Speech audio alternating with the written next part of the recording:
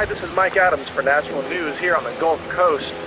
And I've been talking to people today, asking questions, what, what you think about the situation.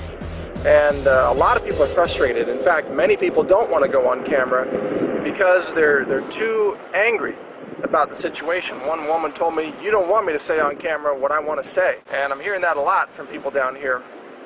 Now, but I've been thinking about this situation and one of the things I'm hearing from a lot of people is that this could be a wake-up call, a major wake-up call for the future of energy dependence here in America. What if this Gulf Coast disaster reminds us of the, the true environmental costs of relying on an oil economy. What if it reminds us to investigate some renewable energy technologies, such as wind power, or solar power, or hydropower, or even free energy technologies that have been largely ignored, such as cold fusion. This could be a wake-up call.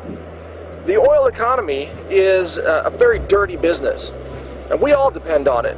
I mean, I'm driving a car today too. I pump gas in the car to get around here. You probably do too. We all rely on gas. We are all, in our own way, contributing to this problem. As long as we keep buying gas, companies are going to keep drilling for gas, drilling for oil, and these kinds of spills are inevitably going to happen. You know, it's just just the, the Murphy's Law at work out here in the Gulf, unfortunately. So maybe this is the time for us to really uh, think seriously about making some changes into renewable energy. And I'm hearing that from people out here.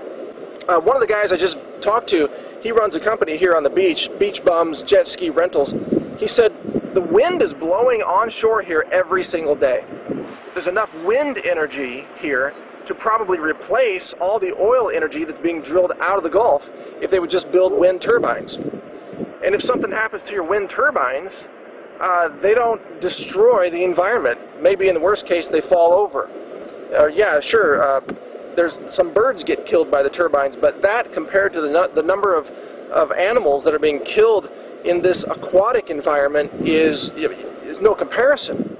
So wind is an option here. Solar is an option. There's sun here, just abundant sun every single day.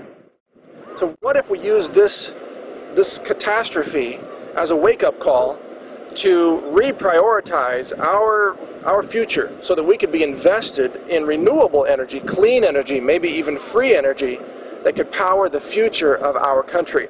If we could do that, then we could turn this catastrophe into a national learning experience and we could create a better, brighter, and cleaner future with our own energy dependence so we're not relying on foreign oil right here in the United States. It's doable and maybe this could be the wake-up call that points us in that direction. Thanks for listening. This is Mike Adams, the Health Ranger, reporting for naturalnews.com from the Gulf Coast.